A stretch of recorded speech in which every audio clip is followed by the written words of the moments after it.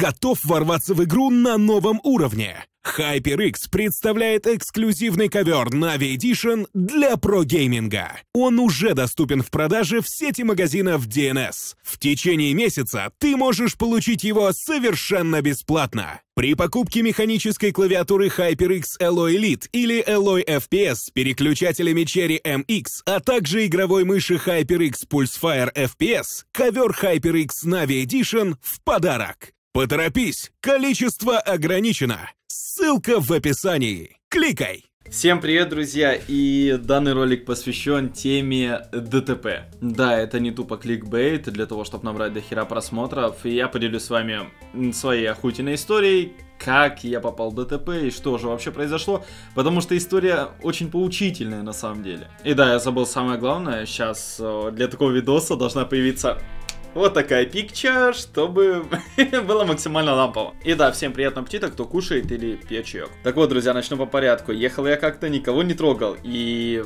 все вроде бы было бы супер.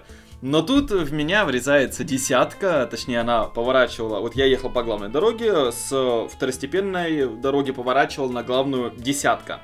Я ехал в крайней правой полосе, но десятки почему-то приспичило повернуть так, чтобы задеть меня боком. Видеофрагмент с видеорегистратора вы сейчас видите у себя на экранах, то есть вот я ехал прямо и в меня просто в пиндюре раз, блять, десятка. И история следующая, вроде бы ничего, обычное ДТП, то есть есть виновник, есть ДТП, то есть, ну, ну ничего, блядь, кардинального-то не произошло, если бы не одно но. После того, как произошло ДТП, двое чуваков из этой десятки подошли ко мне к тачке и начали рассказывать о том, что, блин, мы хотим ругаться, ну, чувак и тому подобное. Как вы, это мужики, и они были слегка датами.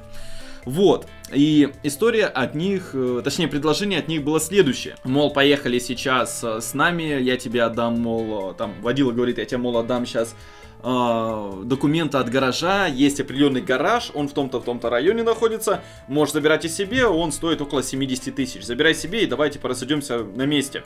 Короче, чуваки признали свою вину и решили решить вопрос, короче, ну, не вызывая гаишник. Я примерно прикинул себя в голове, то есть я знаю, какая ценовая категория гаражей в том районе. Явно там не 70 тысяч рублей, во-первых. Во-вторых, а гаражи там, ну, скажем так, ну, на, на, на кой хуй мне гараж нужен? То есть, ну, серьезно, что я с ним делаю? Солить его буду? Куда я его дену? Вот этот геморрой с документами, продавать этот гараж, потом что-то с ним делать, да он нахер мне не сдался. И я решил вызвать ГАИ. Как только я начал вызванивать ГАИ, эти э, прыгнули в машину, два, скажем так, э, прыгнули в машину и свинтили с места ДТП. Все бы ничего, я вызвал гайцов. Угадайте, сколько я ждал гайцов? Вот, я, я сейчас реально врать не буду. Три часа я прождал гайцов, и в итоге они не приехали. В итоге мне диспетчер сказал, что проще самому подъехать а, к управлению. У нас в Ярославле называется это Серый дом. Я к Серому дому к 11... К ДТП произошло в 7 часов, где-то в районе 7 или 6, или... Не знаю, в районе 7 часов, наверное, произошло ДТП. А к серому дому я подъехал к управлению к 11 вечера, то есть мне сказали подъезжать к 11. Мы составили протокол, э, сотрудник ГАИ сфоткал машину, все составили, все как надо, короче, все есть. Машину опознали на видеорегистратор номер, в итоге высветился, узнали, кто это, чего, как и тому подобное, и машину, как я понял, кинули в розыск. И все бы ничего, проходит неделя, прошла полторы недели, никаких новостей нет, гаишник говорит, да-да-да, там инспектор по розыску туда-сюда, мол, скоро все выяснится, вот ищем. Ну, что поделать. И вот, вот вы сейчас не поверите, вы сейчас увидите одну интересную видеозапись. Вы сейчас видите ту самую десятку. Вот я подъехал к дому друга для того, чтобы забрать друга и... Ну, я ехал вот реально через весь практически город для того, чтобы э, забрать кореша, покататься, пойти погулять. И я не зря через весь город ехал. И именно вот в этом месте, где вот живет у меня друг, стояла эта десятка. Я ее сразу узнал по номерам. В итоге я заблокировал выезд этой десятки, для того, чтобы она уже в этот раз никуда не смылась. И э, человек, который сидел за рулем этой десятки, я его сразу узнал, это один из тех двух, а, скажем так, алкашей, которые в меня тогда впендюрились. И один, вот этот, короче, водил начал сразу же оправдываться, мол, типа, я не я, корова не моя, я эту машину купил всего три месяца назад, ой, э, три дня назад, и типа, ДТП никакого не знаю, о чем ты вообще? Причем два друга его, которые сидели, тоже два других мужика, которые вы сейчас видите вот на своих экранах, два других мужика стояли просто в стороне, как бы, они были с ним в машине, и они по секрету мне сказали, то есть я подошел, спросил, одного из них ты не знаешь вообще, чего, как, почем. А, он говорит то, что этот водила, его зовут Алексей, вот, этот водила реально, то есть, да, он рассказал, что он кого-то въехал и тому подобное. Подробности не рассказывал, но да, он подтверждал то, что, да, в ДТП куда-то попал. И вот, блядь, все равно я стою, и ему объясняют то, что ты ни хера не прав, ты отсюда никуда не уедешь. Ты сейчас, э, мало того, что, э, ну, я не буду говорить, что я говорил ему, потому что тут есть у нас уголовный кодекс, нужно следить за тем, что вы говорите, друзья мои. Вот. И человек все равно вот этот цирк устроил, то, что нет, я не я, короче, короче, в итоге гайцы подъехали. После того, как гайцы подъехали, с него взяли объяснительные, с меня взяли объяснительные, плюс ему велели в обязательном порядке явиться с машиной по определенному адресу для того, чтобы провести экспертизу там, и тому подобное, короче.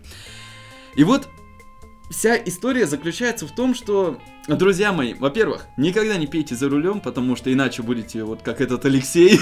По нему посмотрите, ну, вы поняли. Короче, никогда не бухайте, вообще нехер пить. И никогда не пейте, не садитесь пьяным за руль, потому что вылиться это может следующее. Плюс никогда не уезжайте с места ДТП, потому что рано или поздно правда вскроется, все, добро торжествует. Вот. И самое главное, друзья мои, не нарушайте ПДД, не нарушайте закон. Вот хрен ты с этой машиной. Там ремонт у меня встанет в районе 40 тысяч рублей. Фотографии, как бы вы сейчас видите на своих экранах, видели, возможно, ранее, я не знаю сейчас, как, как я в итоге смонтировал ролик. Вот. И хрен ты с этими деньгами, хрен ты с этой машиной. Загвоздка в другом, то что главное, что все живы. Вот, ну, главное, что я жив, вот. И главное, что в этот момент со мной в машине никого не было. И еще хочу один нюанс сказать. Вот я вроде бы водитель, я езжу и как бы стараюсь никогда не превышать э, скоростной режим.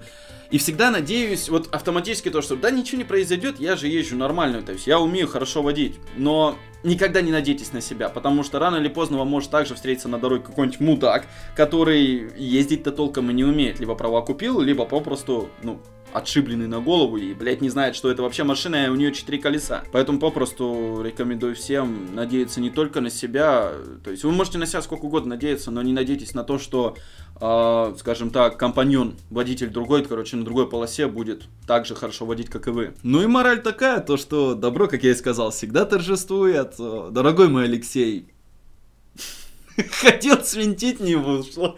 Не знаю, мне кажется, он все проклинал в тот день. Типа, блядь, какого хера я вообще туда поехал? Зачем я поехал? На кой черт мне это вообще все нужно было? Ну вот, приехал, доездился. И мне, как я и сказал, вот нисколько даже деньги важны. Мне вот сам факт был наказать этого вот мудака, потому что, ну, блядь, ездить бухими, э, вот пьяными за рулем, ну, это как минимум я не тоже, блядь, не прав, я чего вообще несу? Блядь, это, ну это пиздец. То есть, серьезно, если бы, ладно, со мной попал ДТП, а если на пешеходном переходе ребенок шел бы или еще что-то могло произойти? Запросто. И среди моих зрителей по-любому есть автолюбители, такие же, как и я, которые любят ездить, любят водить автомобиль. Друзья мои, все, кто автолюбители, если вы видите э, то, что на ваших глазах пьяный садится за руль, или вы заметили, что бухой, ну вот реально в говнину бухой едет, или даже просто даты едет, останавливайте, не знаю, если не, не давайте завести машину, если видите, что заводит машину бухой. Вот не бойтесь ничего. Выдергивайте ключи из зажигания и просто выкидывайте их. Либо вызывайте сотрудника полиции, отдавайте сотрудникам полиции эти ключи. Все, ну не давайте вы садиться за руль алкашам. Ну и на этом все. Это вот такой поучительный был на самом деле ролик. Я надеюсь, хоть кому-то он был интересен. Но я раньше любил на канале рассказывать какие-то охотенные истории, то, что происходит в жизни. Плюс Возможно, это кому-то чем-то поможет. И да, кстати, забыл сказать про один нюанс в ролике. Я сейчас на стадии монтажа нахожусь и как бы ролик уже почти готов выпустить, но вспомнил про одну вещь. У водителя, как оказалось, не было страховки, и многие скажут, что нужно было соглашаться и изначально решать вопрос на месте. В итоге я бы поимел гараж и деньги. Но, друзья, этот человек продолжил бы ездить за рулем в нетрезвом виде, и в следующий раз он мог бы уже не задеть мою машину, а сбить, допустим, пешехода или еще чего хуже. Так что я считаю, то, что я поступил по совести, машина и деньги это вещи восполнимые, а вот здоровье и жизнь не купишь ни за какие деньги. Сейчас же водителю грозит лишение прав на срок до полутора лет. Так что еще раз повторяюсь, друзья, будьте аккуратны на дорогах, и как говорит э, кто-то, кто там, Малахов, берегите себя и своих близких, друзья.